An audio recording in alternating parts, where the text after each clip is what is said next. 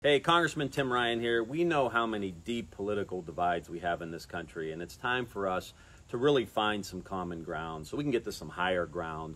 And that starts in our own families. You know, we've got to figure out how to repair these deep, deep divides that we may have. And I've been a Browns fan my entire life, but I'm willing to help heal some of these deep wounds, even in my own household, with some Steelers fans.